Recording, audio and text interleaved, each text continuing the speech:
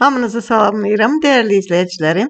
Bu gün sizinlə e, kərəvizlə kök və ayrıca pomidor tutması hazırlayacağıq. 5 günə hazır olacaq və əgər sizin gələn həftə qonağınız olacaqsa, onu bugündən hazırlamağınız məsləhətdir.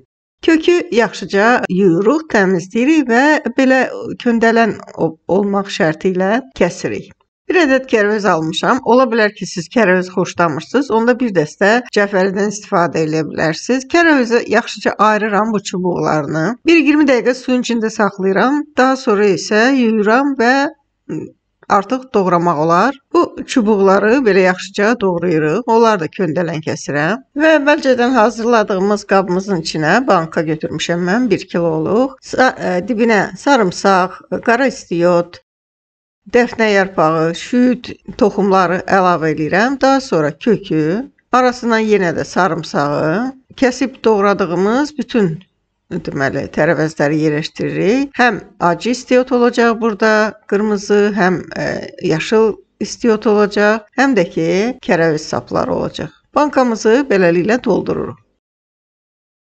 İndi bu bankanı bir qırağa qoyaq və ikinci bankanı hazırlayaq. Orada eyni ilə Qara istiot, dəfnə yarpağı, e, şüydün toxumlarından ya quru şüy çöplərini də əlavə edə bilərsiniz istəyə görə.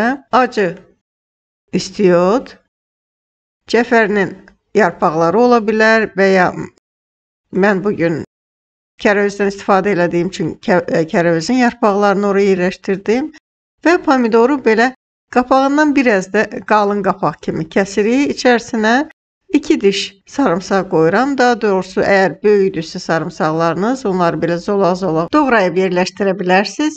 Və bu qayda ilə bütün pomidorlarımızı kəsirik. İçərisinə sarımsağı yerləşdiririk, yığırıq e, bankaya. Burada bir şeyə fikir vermək lazımdır. Pomidorlar mütləq bərk pomidor olmalıdır, yəni qalın qabıq olmalıdır. Və fikir verdinizsə, mən heç onların saplaqlarını da qopartmadım. Çünki o ətir də keçir həm suya, həm tamına. Həqiqətən çox ləzzətli olur.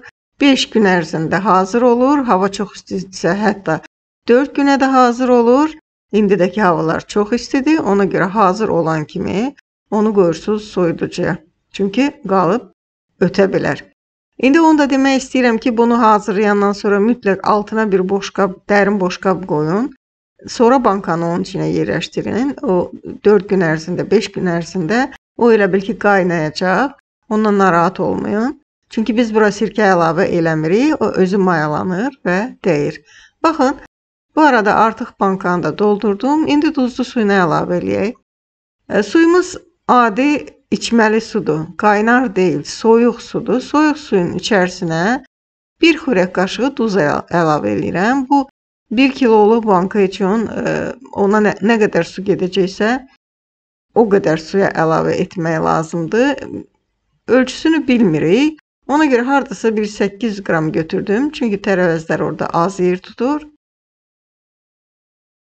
Hətta 900 millilitr suyun içinə bir xörək qaşığı duz əlavə eləyib qarışdırırıq və boşaldırıq bankamızın içinə.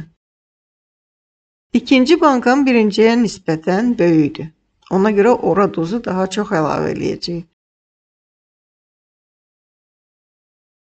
Və yerləşdirdiyim bu bankaya ağzını da qapağı ilə örtəcəyəm və salam. İndi ikinci bankamız, ikinci bankamız dediyim kimi kilo yarımdır. Pomidor daha çox ə, e, deməli yer tutur. Yəni ora su eyni miqdarda gedəcək, amma ki, duzu biraz çox eləmək lazımdır. Çünki pomidor duzu canına çəkməlidir. Ona görə 2 qaşıq duz qoyuruq. Yenə də soyuq su əlavə edirik. Yadınızdan çıxartmayın. İçməli su olmalıdır. Ya butulkadan, ya da filtrdən. Yaxşıca qarışdırırıq. Və bu suyu da digər bankamıza əlavə edirik. Lakin suyun soyuq su olmağına baxmayaraq bankanız, qapaqlarınız mütləq təmiz olmalıdır.